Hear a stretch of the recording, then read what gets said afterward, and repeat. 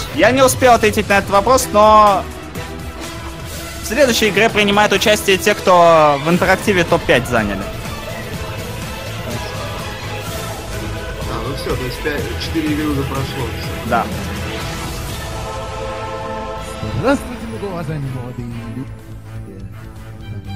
На блюде. Как давно я ждал этого момента. Мы начинаем турнир по дуэли во второй раз. И сегодня мы будем решать, кто же дойдет до вершины Олимпа и заберет с собой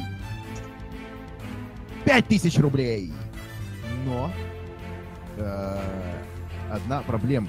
Эти 5000 рублей никому не достанутся, потому что сегодня мы будем играть на убавление. Но э, каждая фишка, которая сегодня будет поставлена на неправильный ответ, будет равняться 5 рублям.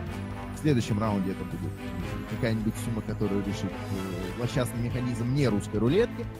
А, но я хочу Новый русский рулет. я хочу сейчас пригласить э, на место, конечно же, не пару матча открытия, но все-таки пару второго матча, и это Димон 123, который на самом деле является Дмитрием Даниловичем, и Максим Волков, который является Юрасиком. Да ладно. Здрасте. Если с рулет, то здесь будем ответить. Ну, если уж э, не в рулетке повезло, то, может, повезет и здесь. Э, Итак, э, статистика по дуэлям 0-0. Вы все прекрасно знаете, как мне отвечать. Ага. Я звуки у себя отключу, чтобы пинга не было такого сильного. Начинаем дуэль. Э, Первый вопрос. Патрика я поздравляю, спасибо. Какой из этих альбомов принадлежит Земфире? Примадонна, то ли еще будет 14 недель тишины счастья в личной жизни.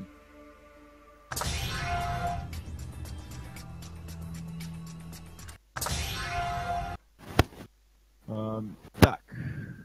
Чему я не могу себе вырубить звук? Теперь вырубил. Итак, ответы. 14 недель тишины. Мы продолжаем. Правильный ответ. 14 недель тишины. Одна фишка отправляется в джекпот, э, якобы отправляется. Э, джекпот все еще увеличивается. Итак, второй. Э, господин Марчо, вы что, забыли кое-что Я- изменить? Я забыл, я забыл изменить скрипт. Э, заменим сегодня. Ну да. Какой неофициальный титул присваивали альпинистам, покорившим все, все пять семитысячников на территории СССР? Архер, Снежный Барс, товарищ Рамон, Черный Альпинист, Сноубарс, привет.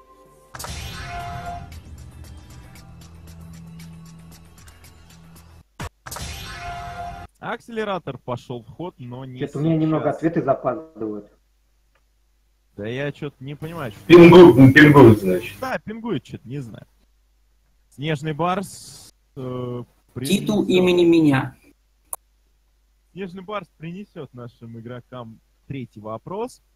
И, скорее всего, это так. Ну, конечно, Роман Транс приносит нашим игрокам возможность услышать третий вопрос.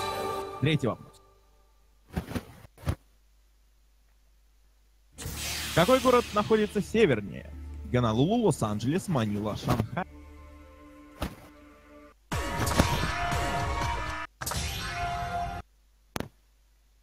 Э, не успел ответить. Давайте посмотрим ответы. При Маниле и Шанхае Дима выигрывает свою первую дуэль э, в режиме Best of 2. То есть ему надо будет еще вторую выиграть. И если это Гонолулу или Лос-Анджелес, мы продолжаем. Верный ответ? Лос-Анджелес. Четыре фишки в джекпот. Э, Сус, э, четвертый вопрос. Какая река Европы протекает через наибольшее количество стран? Висла, Дунай, Рейн, Эльба.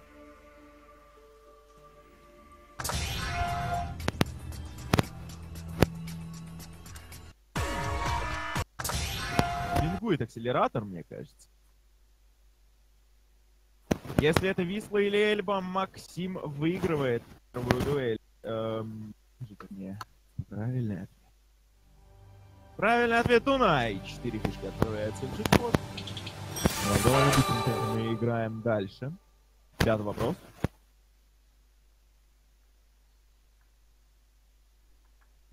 Что означает выражение «вето»? Запрещаю независимость, самостоятельно, смелость.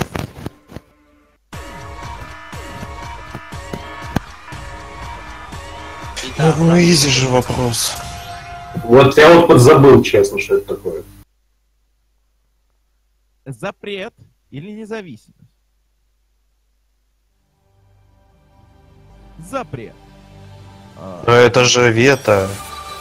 Зап- Запрет на что-либо. Вот Роскомнадзор наложил вето на Телеграм. А. С предыдущим вопросом не привет, потому что Дунай как раз река Польши. Да, обновленного саундпак. Э, Нужен обновленный саундпак, который лежит э, где-то в паблике. Так, это В, в в Меня. далеком мракобесе, или давай дальше.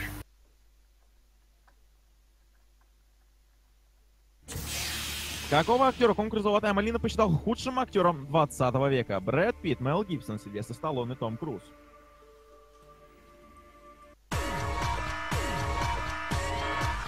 Вроде как первая десятка вопросов акселератора я люблю. Итак, показываем ответы. Если это Том Круз, то Юрасик каким-то неведомым образ- образом выигрывает свою первую дуэль. Верный ответ Сильвестр Сталлоне 5000 отправляется. Ой, все. Седьмой вопрос. Цукини. Это сорт.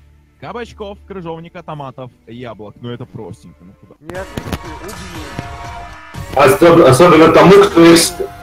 Особенно тому, кто их сегодня садил, ага. Кабачек. Ну, конечно же. Кабачки. Просто я сегодня на дачу ездил, так что такая вот- Восьмой вопрос. В наказание он должен все время скатывать на гору камень. Геракл, Прометей, Сизиф, Тантал.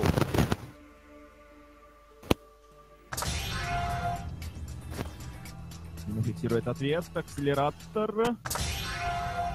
И опять пингует, мне кажется. Да что такое? Сизиф. Ну, ну блин, ну Сизифов труд, вы чё? Конечно, это Сизиф. Одна фишка отправляется в джекпот, и... Я немного бы побеспокоился насчет Юрасика, потому что по фишечкам-то слабенько верится, что он доживет до 11 вопроса, однако девятый на счету у нас.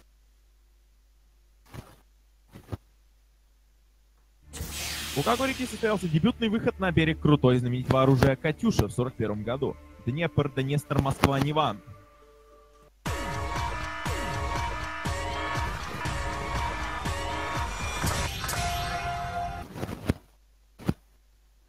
Если это Днепр, то, собственно, игра продолжается. Если это Днестр, Дима заканчивает первую дуэль. Правильный ответ Днепр. Одна фишка уходит в джекпот. Э, Дима, нервничаешь? Скажи. А, блин, фу, я абсолютно нервничаю. При, при том, что в двух фишках опасно. Десятый вопрос. Последний вопрос, где акселератор может быть не использован. Чем заполнилось выступление сборной Франции в финальной части ЧМ 2002 по футболу? В составе команды играли три брата, все игроки были чернокожими, действующий чемпион не преодолел групповой этап, или один из тренеров был министром спорта Франции. Вот этого я не помню. Интересный вопрос, на самом деле. Можете избавляться от акселератора, в принципе, да. Дуэль окончена.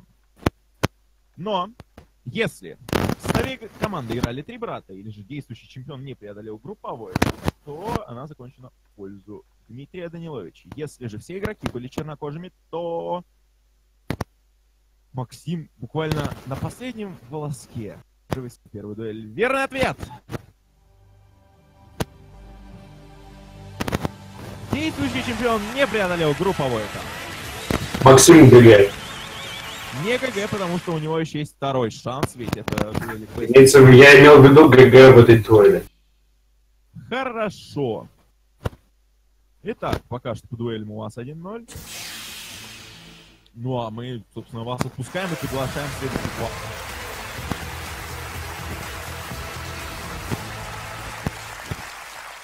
Сейчас бы правильно ввести его ник. Это Максим Извеков против Александра Пускаревского.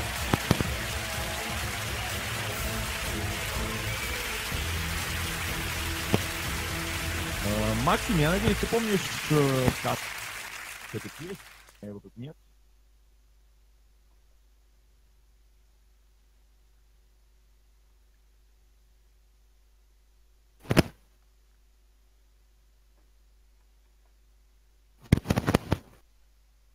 Это механизм русской рулетки против подарка коллекторам на Новый год.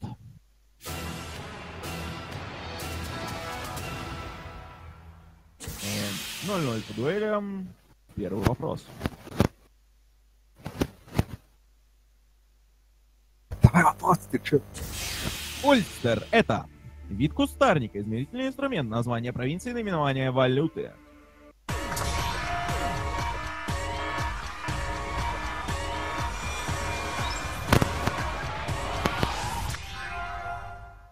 Интересно, успел ли ты зафиксировать тот ответ, который ты дал мне последний? Не успел. Однако... Э, Ойстер это та часть, за которую борется Ирландия. И боролась. Это название провинции, так что, Максим, если бы ты сейчас ответил 1-3 и передайте ему, то он бы потерял одну фишку. Второй вопрос. Как называется, как называется высочайшая вершина в Южной Америке? Аконкагуа, Каверла, Чимбурасу, Ямантау.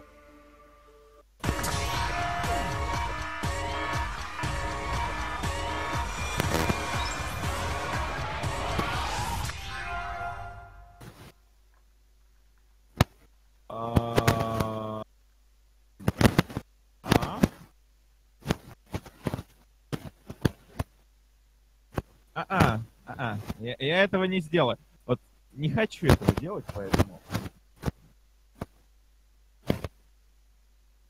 Тот ответ. По-моему, тот. А, да, это тот ответ, который должен был приняться. Собственно, конечно же, Аконкагуа. Туда.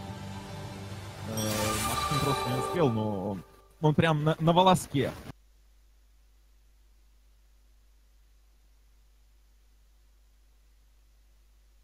Подожди, сейчас, Славян, сейчас будут сложные вопросы, на которые мы будем думать минуты по 10. И что-то Не, ну, типа того. типа, э, нахрен они им. Иногда я не хочу задействовать себя, мне просто скучно. Третий вопрос. Чью бороду первый собственноручно остриг Петр Первый во время кампании по приобщению бояр к западной лестнице? Меншиков, Шейн, Шереметьев, Лефор.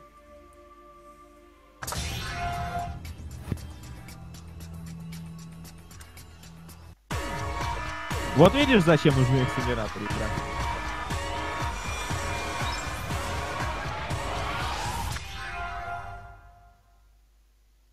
Итак, если это Шиин, то мне ничего не остается сделать, кроме как сказать, что первую дуэль выигрывает Александр Пушкаревский. Верный ответ.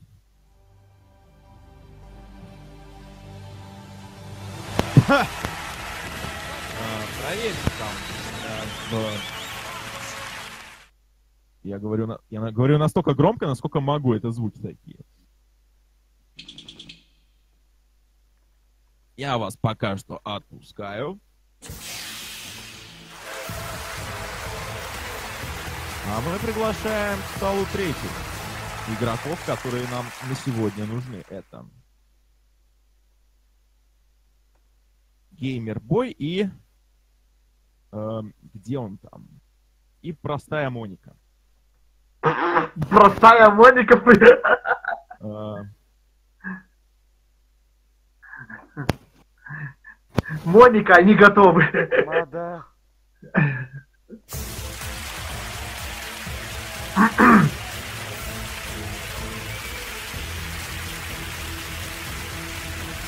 Итак, э, в быстром темпе вальса мы начинаем дуэль.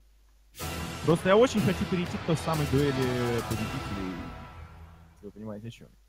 Первый вопрос.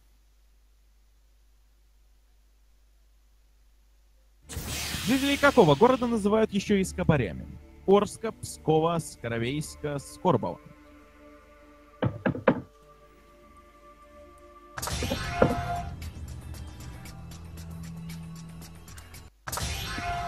А, Ну, пинги. хорошо. Пинги, походу.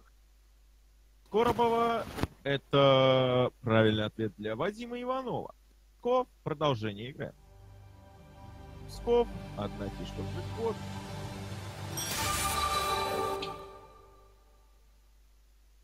Второй вопрос. Скобарь. Ну, в принципе, окей. Как звали аббата, с которым Эдмон Дантес познакомился в замке И?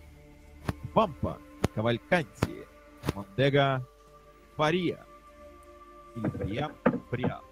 Фария. Эй.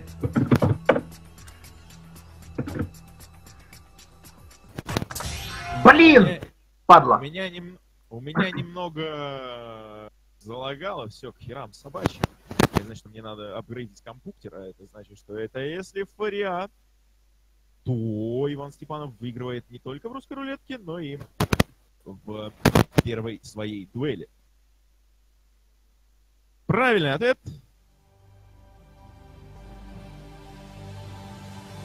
Фариат.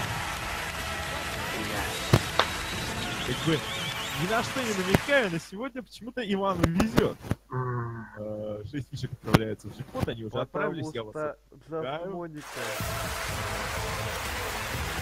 Итак.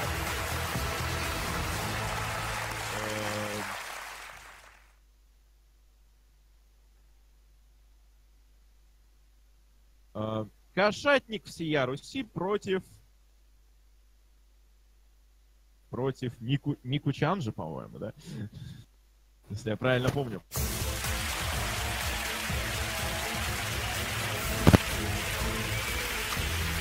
Ты правильно помнишь. Да-да-да, я тут. Ну, Ну что, кошатник всея Руси, готов? Я не кошатник всей Руси. Вот у меня, у меня вот рядом сейчас сидит кошатница всей Руси. Вы путаете меня с ним. А, Он хорошо. Ну, Сятник. Марча пытается с Копатычем. А, ну, Куда? Давайте э, дуэлиться. э, Сходитесь, называется. Не слышу, кроме ведущего. Спасибо за минус микрофоны. Э, Геймербоя там. И, и, и вот. Все, профи. А, спасибо. Итак, первый вопрос. Как отвечать мне вы помните? Э, Какое прозвище дали сотрудники своему директору Калугиной из служебного романа Выдра, Крымза, Мегера, Мыбра? Тут аж акселератор использовать не нужно, и так все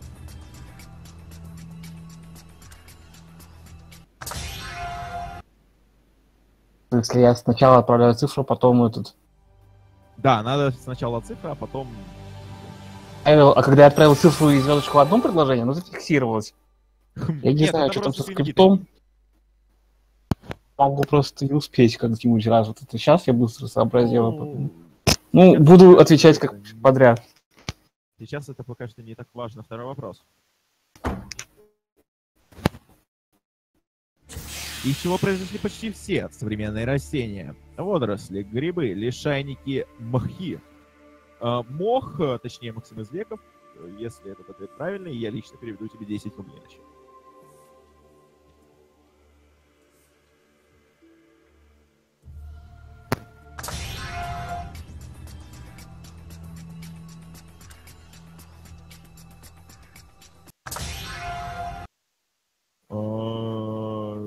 Че? Мне это уже начинает нравиться. При водорослях это продолжение, при лишайниках тоже. Если это мхи, то не только кошелек Максима Извекова пополнится на 10 рублей, но и дуэль окончится в пользу Кирилла Алексеева. Это водоросли, три фишки. Наконец-таки ход. Я так и думал. Только фишки Поехали. а, Третий давал. вопрос. Центральное место в качестве главного совещательного, директивного и представительного органа ООН занимает Генеральная Ассамблея, Международный суд ООН, Совет Безопасности, Совет по опеке.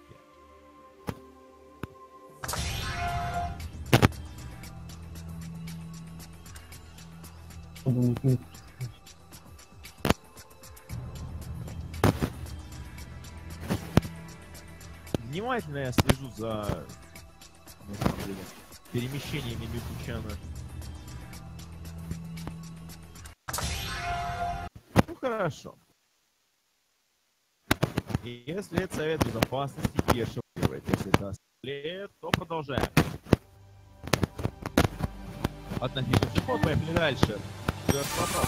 Тут у кого-то микрофон плохой. У меня все нормально вроде. Потому что у кого-то слышны стуки по микрофону. Ведущего вообще почти не слышно. Это значит у меня. Сейчас. Этот музей возник в 1764 году Нормально. как, как частное собрание Екатерины II.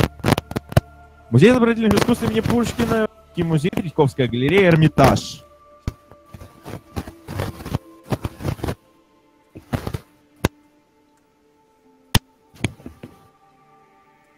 Теперь вроде нормально. Итак. Фиксируйте свои ответы. Почему вы отмели галерею Эрмитаж? Эрмитаж позже, по-моему, появился. И Я, если честно, уже тупо не силен в истории, потому что после школьного курса уже все забыл. Ну, я- мне лично кажется, что Эрмитаж сам, он как бы, вот, ну, питерский, по-моему, он кем-то другим был э, организован, а Третьяковская галерея, скорее, Третьяковым больше. А вот насчет... Мне кажется, что это больше второе. Я что-то слышал про это, но не рискнул выбрать только его. Как-то так. Ну, если это Третьяковская галерея Эрмитаж, мы первый раз за эту дуэль играем решающий вопрос. Верный ответ? Эрмитаж! Па. Как бы это на самом деле удивительно звучало, но один из крупнейших художественных исторических музеев мира начинал свою собственную историю с коллекции произведений искусства, приобретенных в частном порядке императрицей Екатериной II. Четыре фишки отправляются в джекпот, мы играем решающий вопрос. Правило решающего вопроса для вас. У вас будет по одной фишке. У вас нет акселераторов, акселератор запущу я. Если э, тот, кто даст ответ первым, его зафиксирует, то, собственно, тот ответ, который мы зафиксировали, и будем проверять. То есть тут э, даже дело не в пинге, наверное, а в быстроте. Хотя, может, и пинг тоже играет свою роль. Э, шансы равны, 50 на 50. Ну, там, смотря, конечно, какой вопрос будет. Итак, вопрос. Как называется спрыгивание гимнаста со снаряда на пол? Заскок, отталкивание, прыжок, соскок. Э,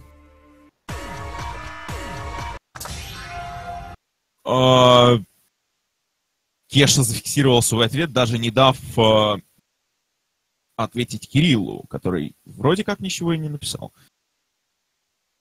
Я слишком долго думаю. Итак, если это соскок, то Кеша побеждает в дуэли. Правильный ответ!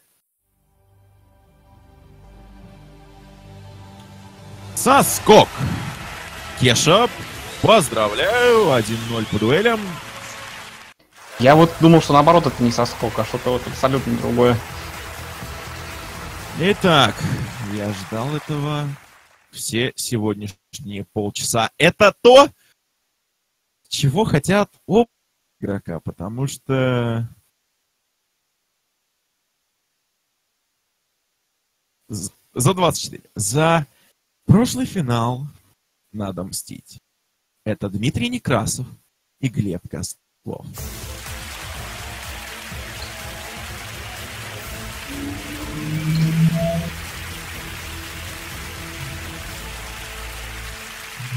Наконец-то я смог все-таки увидеть эту дуэль воочию, потому что на прошлом финале меня, к сожалению, тогда не было. Как отвечать, вы знаете. Для вас звучит первый вопрос. Ну, что, Дима? Не включается микрофон? А, как бы, да ладно. Нет, я, в принципе, как бы могу и подождать, почему бы и нет. А, э, его размутить не смогли.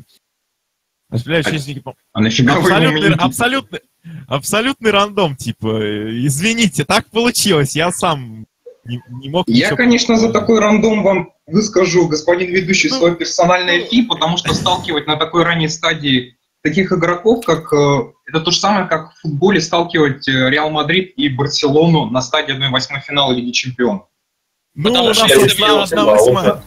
Если бы я узнал, что это не было случайно, я бы супер разбомбил сейчас. Это пиздец какой-то, реально. Ну, я Ну, тоже вот...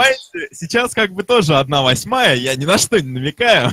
И причем тут, в отличие от первого турнира, нету ни нижней сетки, и сейчас э, один из нас, кто проиграет, больше не сыграет в этом турнире. Собственно, вот в чем У пиздец. него есть воз... вот тот, кто сыграет, сейчас может проиграть, у того будет возможность потом в интерактиве попасть в специальный, скажем так, формат дуэли, который будет проводиться для прогнозистов и интерактивщиков. Итак, Ну Да. Ну, мне кажется, мой микрофон немножечко опять так напряжение-то нарастает, Фонит? ты сам, сам понимаешь. Да, напряжение нарастает. А Вопрос потом, номер как один. только кто-то выиграет, оно может резко упасть. Чем Ладно, прославился погнали. князь Григорий Осипович Засекин? Был воеводой городов-крепостей на Волге, был казалским атаманом, написал домострой или же служил послом Петра Великого. Дима,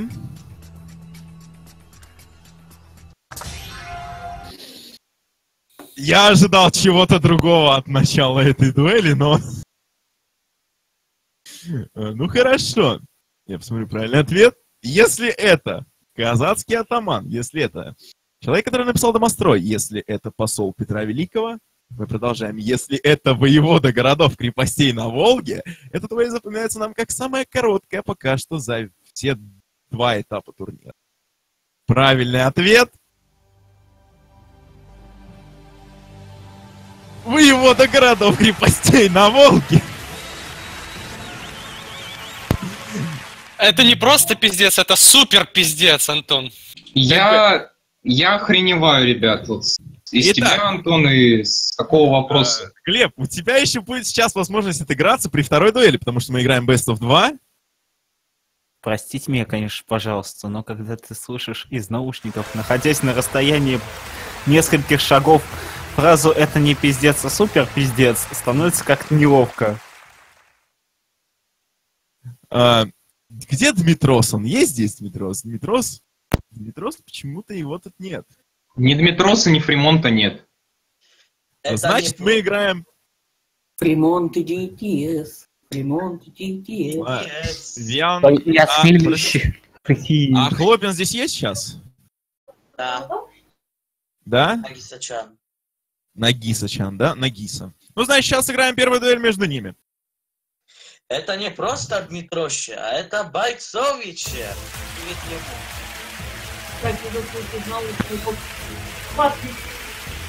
Вот вы знаете, если их обоих нету, значит это... Значит, они что-то вместе. Я еще в пути. А как понять? Он путешествует.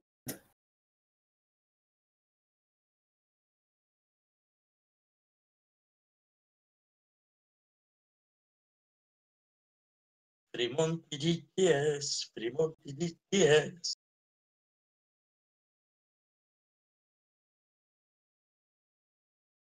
Фримонт с Дмитросом. Дима, обеспечь мне э, э, атмосферу РР. Спасибо.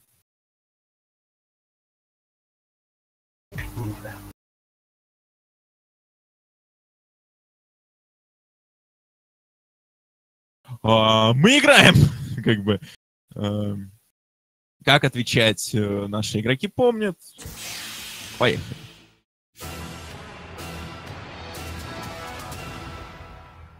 А у нас тем временем 15 минут до конца нашей игры. Первый вопрос. Надеюсь, что не последний. Имя родного брата Шерш Холмс. Артур Джон Майкрофт Уилкинс.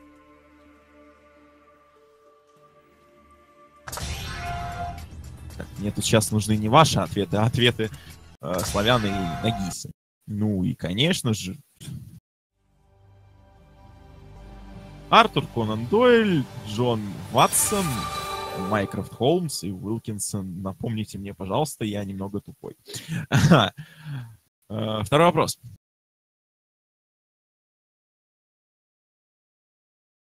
Кто является автором романа «Кладбище домашних животных»? Джон Роль... Джон, Рон... Джон Рональд Руэлл Толкин, Роберт Шекли, Стивен Кинг, Эдгар Аллан По.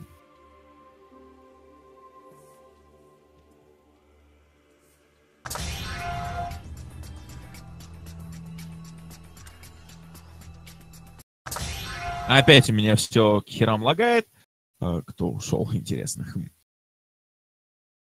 Итак, если это Эдгар Аллан По, то мы продолжаем. Если это два варианта, на которые были поставлены фишки, собственно, Кирилла Хлопина, это Стивен Кинг или Роберт Шекли, то мы заканчиваем первую дуэль этих оппонентов. Верный ответ! Роберт Шекли вообще-то. Стивен Кинг. А, сейчас. Я найду ответ на всякий случай. Да, «Кладбище домашних животных» — это роман американского писателя Стивена Кинга. А, Три фишки отправляются в джекпот. А, Мы вас отпускаем.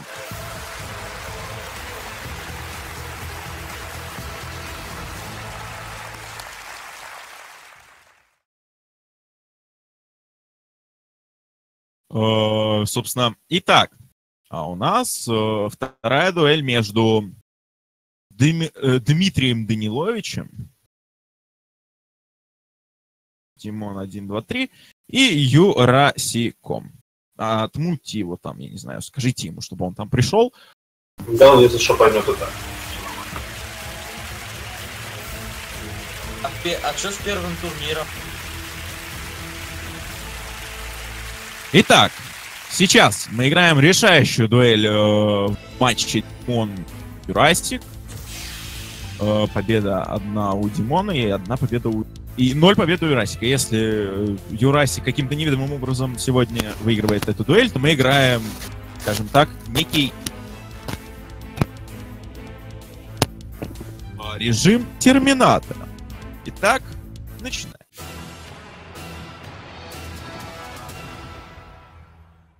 А, Первый вопрос. Поводом к какому открытию послужило сомнение царя в том, что его корона из чистого золота по легенде. Закон Архимеда, золотое сечение, теорема Пифагора, философский камень.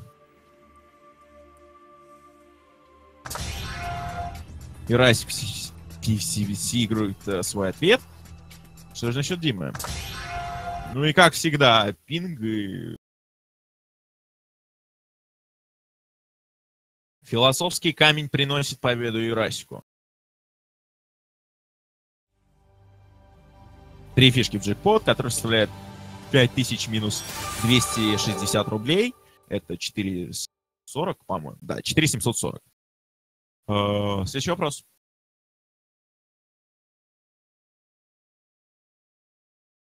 Как звали жену фараона Эхматоман? Изис, Миретатон, Нефертити Хатшепсут.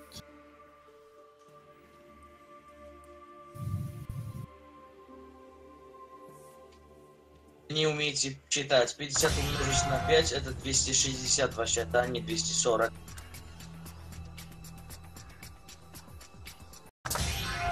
Я же правильно посчитал. се- ш- 4740, но после этого ответа может стать на э, 5 меньше или 5 больше, кто знает. Э, верный ответ. Нефертити. Следующий вопрос. Как распространяется дизентерия? Воздушно-капельным путем укуса зараженных диких животных, укуса зараженных насекомых, употребление зараженных продуктов и воды.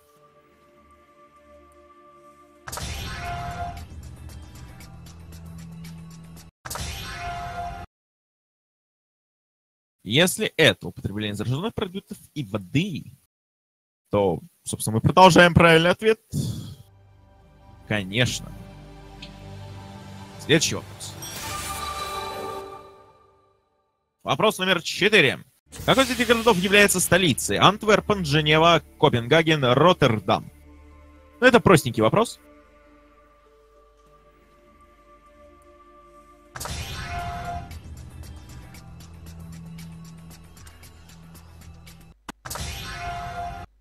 Итак. а,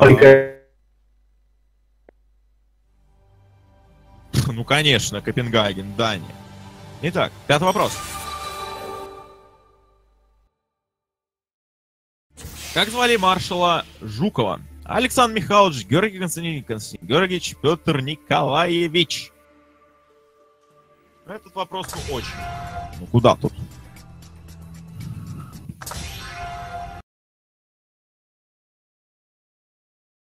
Георгий Константинович Жуков, понятное дело. Маршал, конечно же, Георгий Константин. Тем временем, статистика такова. Ну, мы, конечно, отправляем одну фишку в джекпот. Эм, Шесть фишек у Юрасика, нет акселератора. Восемь фишек у Димы. Акселераторы оба в бою. Пятый вопрос. Или шестой вопрос. В общем, на месте разберемся. Действие какого романа Александра Дюма «Отца» происходит в России? Асканио. Предводитель волков, учитель фехтования, черный тюльпан.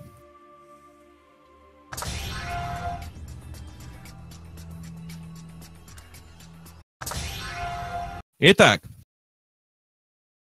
Ну, тут вы пошли практически в банк и... э, Верный ответ. Все-таки учитель фехтования.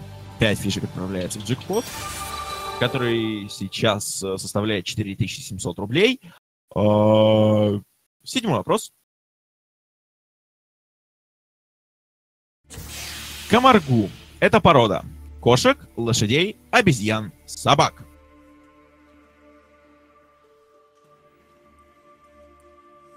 Сколько же там ответов в интерактиве?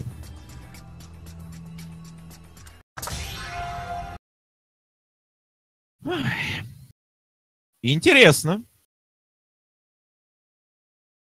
Верный ответ. Лошади. И довольно быстро ситуация на поле изменилась. И сейчас Юрасик практически бессмертен, а вот Диме придется поторопиться. Точнее, поста посторониться таких моментов, когда можно проиграть все. Итак, вопрос, вопрос номер восемь.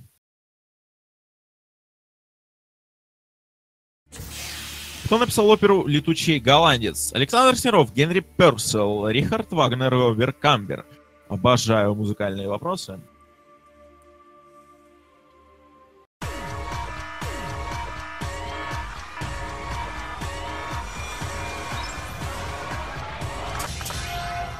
На последней секунде. Зачем вы только делали? Если это Рихард Вагнер, мы продолжаем. А мы продолжаем. Одна фишка в джекпот. Ситуация накаляется. Девятый вопрос. Кто из этих лидеров белого движения в России впоследствии стал генерал-майором армии Чехословакии? Кутепов, Витковский, Миллер, Войцеховский.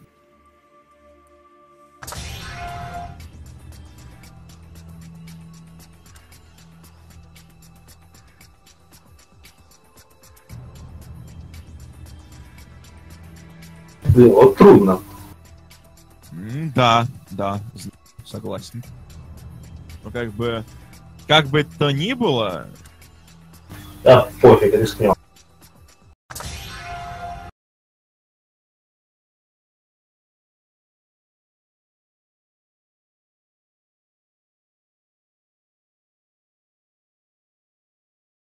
Если это Войцеховский, мы продолжаем.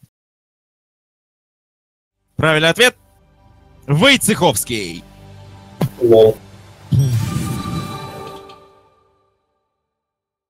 А это значит, что мы играем сейчас два вопроса, на которых вы э, можете играть с одной фишкой. Если по истечении двух этих вопросов мы не узнаем победителя, мы играем решающий вопрос. И вопрос под номером 10, который пока что еще не задействует акселератор. Вот он. Во время коронации какого императора произошла трагедия на Ходынском поле? Александр II, Александр III, Николай I, Николай II.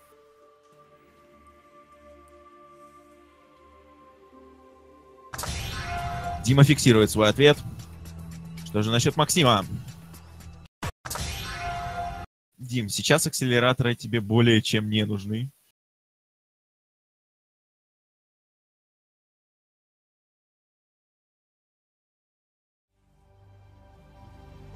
У меня нет слов.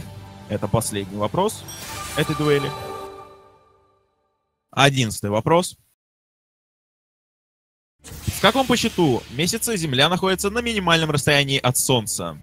Владимир Путин, НС Мартынов, СП Осипов, ТП Гушин. Следующий вопрос. Мне очень нравится. Вот тебе пасхалочка, спасибо. Световые сигналы какого цвета не применяются в дорожных светофорах? Белолунный, желтый, зеленый, синий.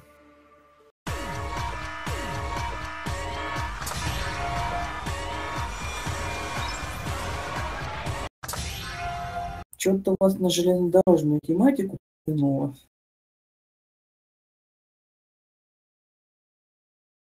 Дуэль окончена. Если это белолунный, то дуэль окончена со счетом 2-0. Если это синий, закончена дуэль 1-1, и мы играем решающий вопрос в любом случае. Правильный ответ. Синий. А где вы видели Итак, Вот, ну, начнем с того, что синий обычно используется в, э, в железнодорожном транспорте. Ну, Нет, синий больше бюллетеней и так, ну, при такой полемике я предлагаю переиграть вопрос. Тогда играем следующий вопрос. Я возвращаю вам, я возвращаю Ярасику фишку. И Димону тоже.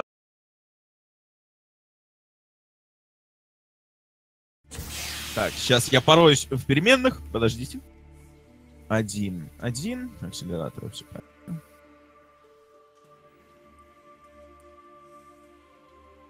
Какой музыкальный инструмент является самым крупным из струнных смычковых? Альт, виола да гамба, виолончель, контрабас.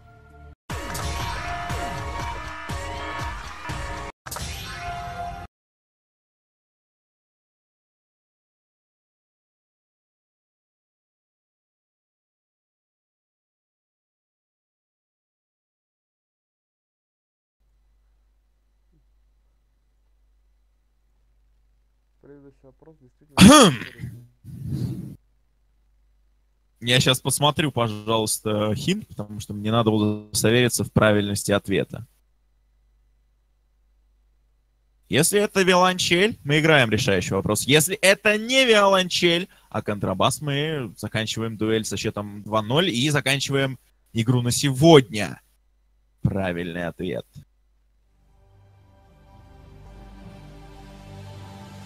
Контрабас! Э, комментарий можно к вопросу? Самый крупный по размерам и самый низкий по звучанию. Имеет четыре струны, направленные на ми первой октавы, или э, на ми первая, там одиннадцатая октава, по-моему, на ля, на ре и на соль. Диапазон от э, е какого-то там не. Ну, в общем, тут как бы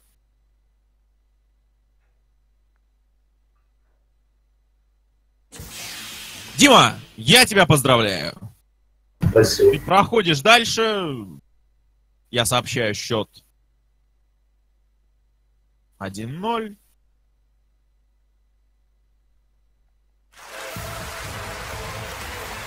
Ну а завтра, 30 числа, мы узнаем следующих победителей нашей, э, нашего турнира по дуэли из пар. Э, Максим Извеков, Александр Пушкаревский, Вадим Иванов, Иван Степанов, Кирилл Алексеев, Николай Тиберяев, Дмитрий Некрасов и Глеб Козлов, и Вячеслав Мартынов и Кирилл Холопин. Э, Мы сыграем дальше дуэль Трофимов Медведев. Ну а вам я хочу сказать спасибо за то, что посидели с нами. И до новых встреч! А скоро, дорогие друзья, Гинга на 42. Гинга 42. Приходите. Какой, какой,